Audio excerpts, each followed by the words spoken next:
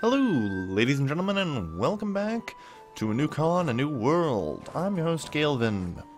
And, uh, today, well, we have to get some revenge on an old, for an old enemy, as odd as that is.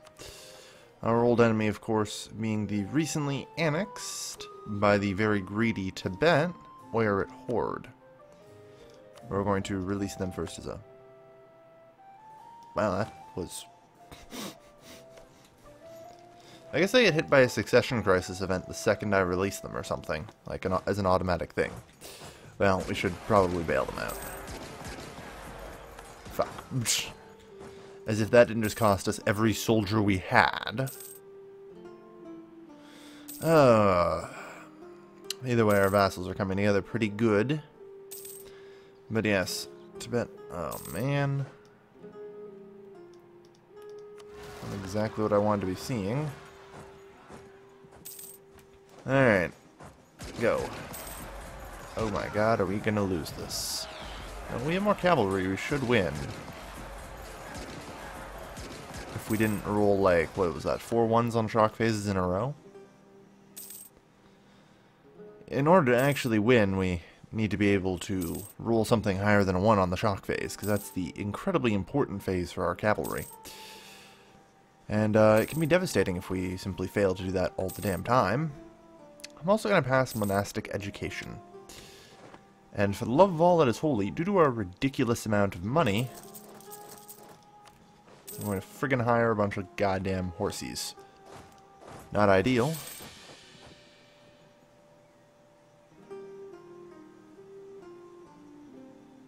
No child can be Khan. Oh dear. Oh dear.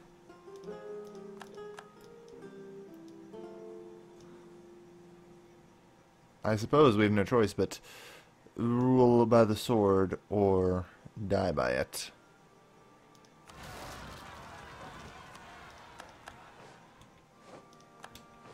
Well, this is never good, is it? Alright, just continue building more horses. Um second Pretender army, third Pretender army. I think they're all with the same Pretender. That means if I can vanquish the Pretender here, then they might still stand a chance. Now, it was definitely the 11, right? Then again, that one was kind of wounded. Damn, it's hard to tell which Pretender army I'm supposed to be going after.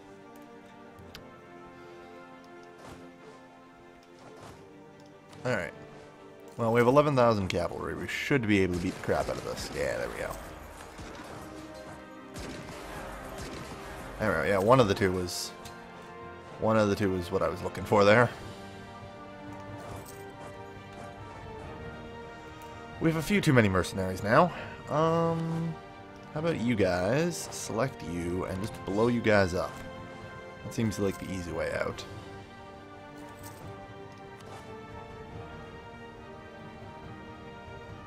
Alright, so how much are we in the hole on this one? About 5 gold. Not great. We don't really have the manpower to not do this, so if I'm going to be bleeding cash, and it does appear I am, I shouldn't the succession crisis have ended? Did it not say when all the armies are vanquished? Maybe I have to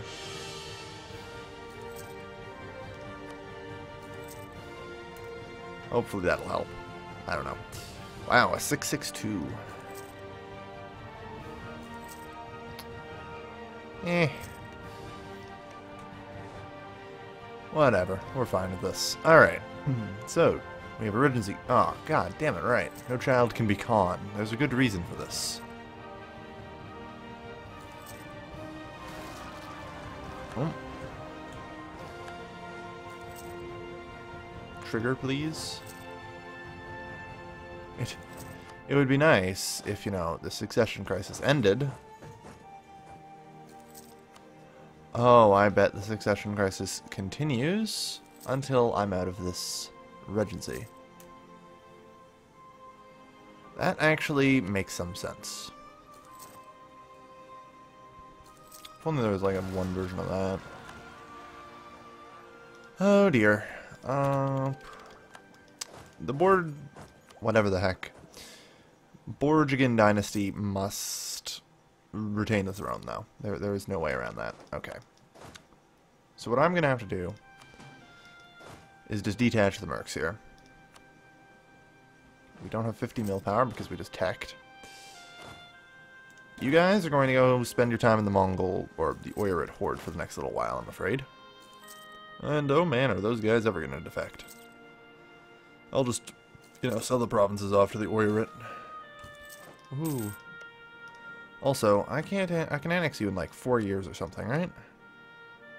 Yeah, four years, so I should start improving relations. We're going to need to do something about it. We'll figure it out eventually. Uh, royal marriage would be good. That'll help the situation along. I'll figure it out. Hmm. Yeah, they're just not happy that I've declared war on them multiple times. Understandably, I mean. It does tend to be the kind of thing that pisses people off. Just try me, Divet. Motherfucking try me. Alright, fully reinforced. At least those four regiments. Hmm. like I said, I want to keep them out of the fighting if I can. At this point, it seems like it would be a better idea. Come on. Uh, this regency is terrible. But at least our uh, new general isn't.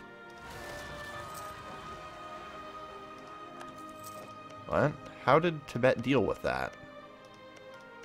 If they if they negotiated, there would be um. Yeah, what the fuck? That's bullshit. If they negotiated, there'd be local autonomy here. But as we can clearly see, there isn't. So the AI has magically made those rebels disappear. It is slightly depressing.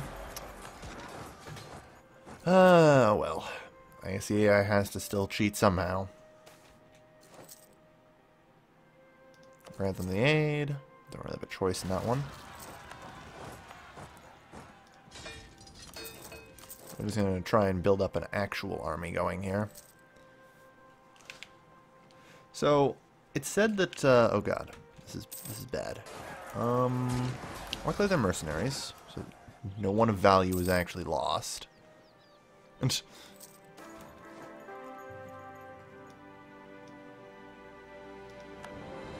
Really? The child coming of age counts as the Khan dying. Now, that's going to be another 11 pretenders there. I'm going to need everything to beat that.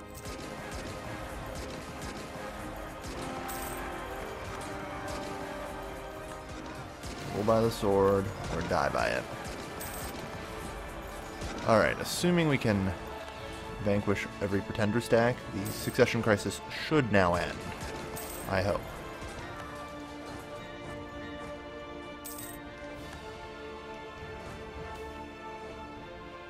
Rule by the sword, or die by it. No one questions the authority of this family. Alright. Well. As odd as it is, we now have more actual people than we do mercenaries. Which, which is always nice. Alright. Well, we survived that succession crisis. With flying colors. Hopefully we don't have to have too many more of those. I'm going to keep the mercs, mostly because I'm going to be needing them for the invasion of Tibet. They're on the Divet, Shan, and Assam. Alright. I'm not particularly worried about any of the involved parties. My, uh, my vassals should be able to assist in that. I like hell. Well, you thought you were going to get away?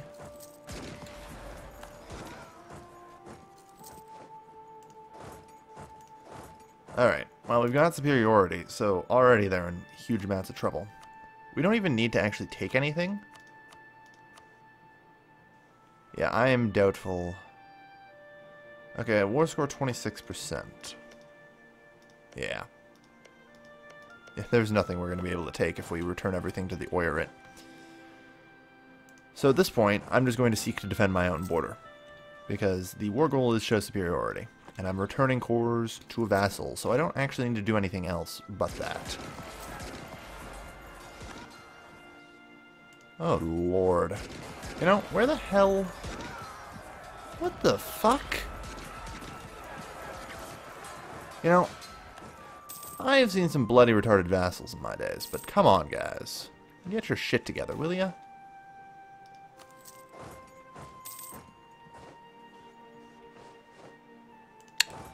Uh, I guess we'll head around. Well, there goes superiority. Well, at least my vassals are finally getting around to helping. That, that's that's good. I, uh... Okay, good. We do have Manchu attached to us.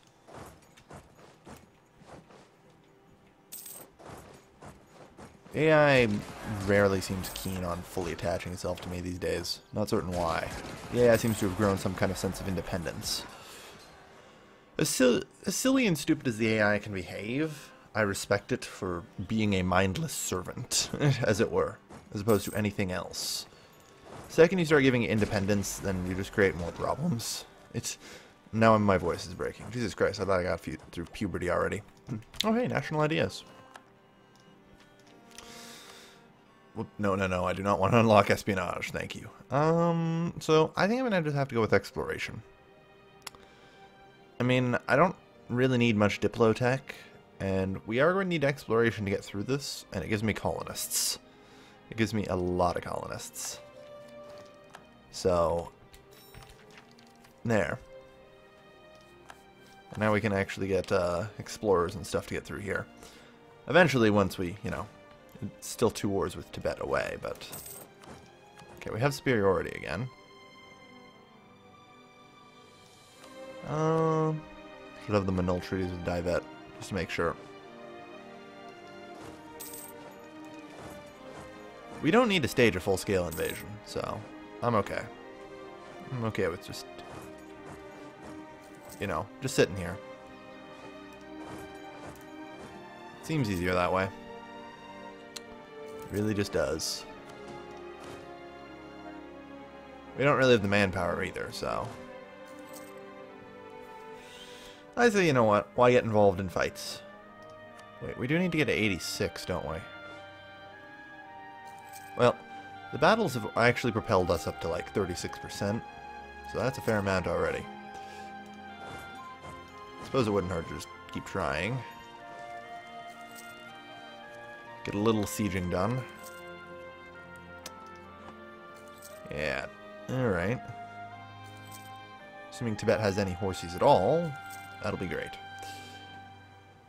Oh, if uh, rebels get control of something, I'm more than pleased to allow them to have it. Uh, damn. You know what? We don't have any revolt risk now. Hopefully we won't after.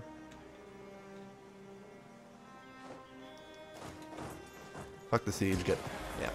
Boom. Perfect. That was extremely well done. Ming, you should deal with your peasants. Really now.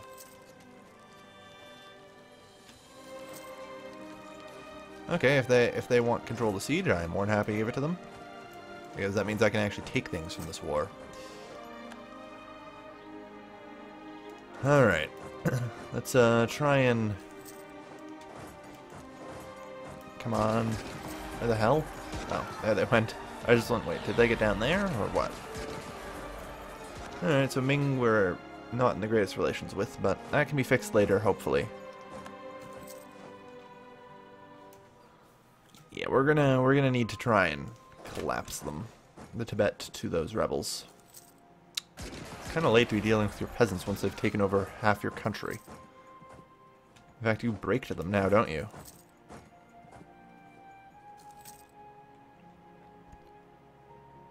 Alright, I'm going to detach the mercs. I'm going to give the mercs the leader. And tell them to keep going. I see no reason to waste my own men fighting any further. Really? You guys chose to link onto that one. One who's not going to go anywhere. God damn it. Uh, Whatever. Keep slaughtering them by the bucket load, I guess. Like I said, these are just mercs. They're not people I actually care about. Wait, how did that lose out? Become Tibet again. I don't even know. It. We should go pay attention to the rebels. And make sure they don't... Not, you know, nothing bad happens to them. Uh, lose the 25 prestige. It's better that way. Okay. Killed. And killed. Just gotta make sure they aren't too keen on continuing.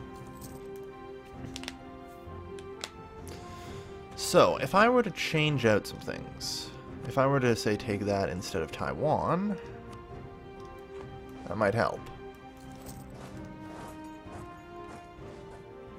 Well, like I said, we're going to wait for the rebels and see what happens with them.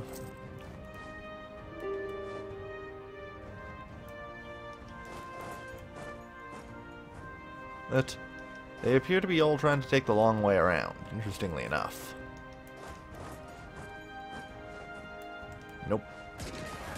Alright. Feel free to attack right. Oh, wow. We took a lot of casualties doing that. Quite a few of them, actually. And they hunted me, my Merc army to extinction. Alright then. Not greatest scenario possible, but we'll be okay. Battle percentage is 85, so one loss isn't the end of the world here. I really wish you guys would have continued the siege there. That would have helped.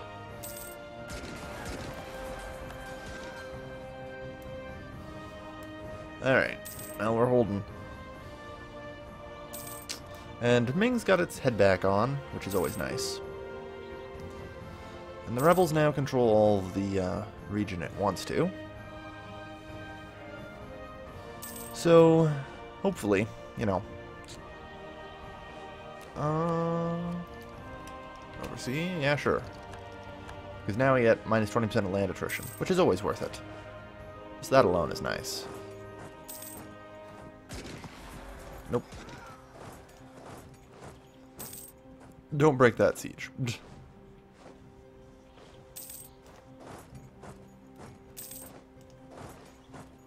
They can just run back and forth there.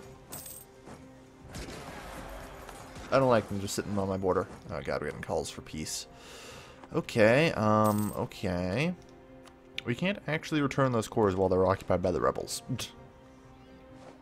So we're actually going to have to sit here and eat war exhaustion until either the rebels disperse or, you know, something. How long? I'm, I'm not really doing this to cheat so much as I am... I hate to ask, but how long are we going to have to wait for this? That's going to influence my decision making. Um, no. Talk to the Mongol Patriots. Six months, 16 months, and 26 months. Okay, that that's reasonable. That's just two years. Alright, that's not the worst thing ever. We, we, we can hold that. I'm alright with that. We'll handle it. Alright.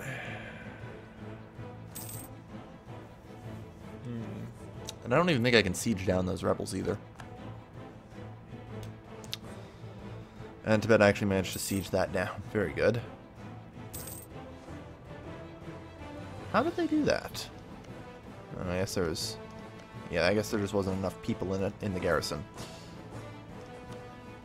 Well, good, we have a decent general. Okay, we don't need any more Mongol patriots. Um... Oh, hey, they uh, totally gave me all these men. Sweet. I guess that means we don't really need the mercs. Oh yeah, right, the mercs kind of blew up. Right, right. well, let's get the uh, them where they belong. I do want this region, however.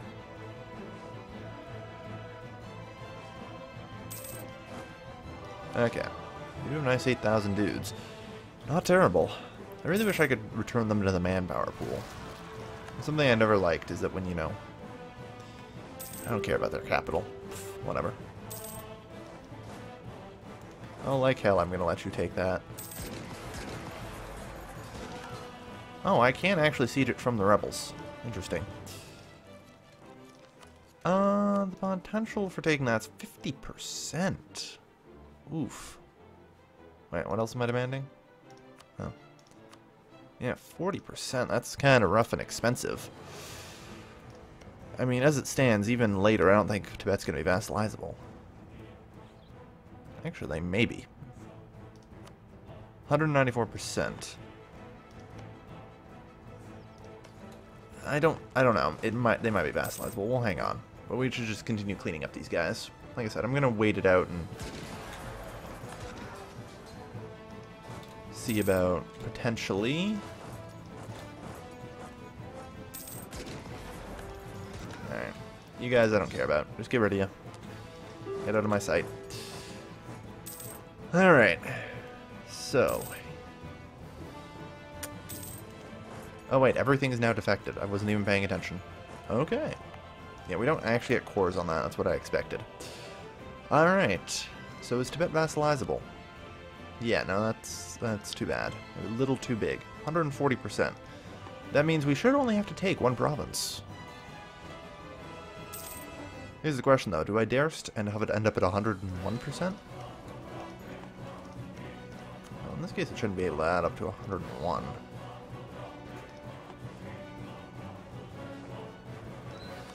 No way, right? Could take two provinces to be safe. Decision making. Take a second province to be safe until we can vassalize them. No, I, I think this will be... Oh, yeah. We can actually check there. See? Yeah, okay. If that button's clickable, then we only need to take that one province. There. To which I say... Economy actions, sell province. Will you buy that? Has no strategic interest. Jerk. Alright. Well, either way. We beat the crap out of Tibet and its allies. You know, I probably should have considered taking Diaveta Vassal, but I doubt they were they're vassalizable.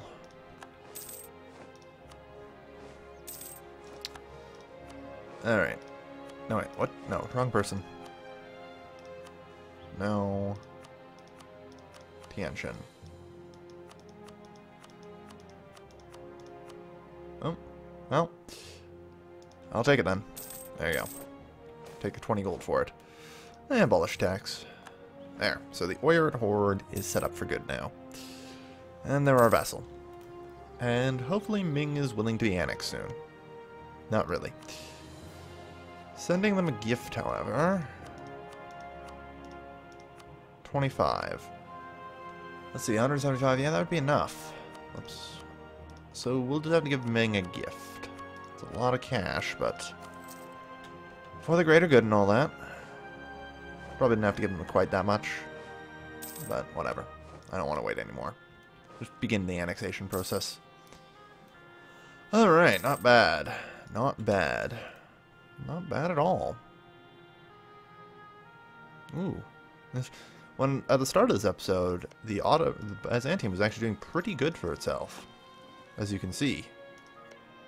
That's interesting. Yeah, Byzantium had these four provinces. Looks like the Ottomans are taking over. Hmm. And the awkward positioning of the Golden Horde is awkward. Oh my. Oh my. Anyway, I believe that will be it for the episode. So, thank you everybody for watching. As always, this has been your lovely, lovely host, Kailvin, signing off.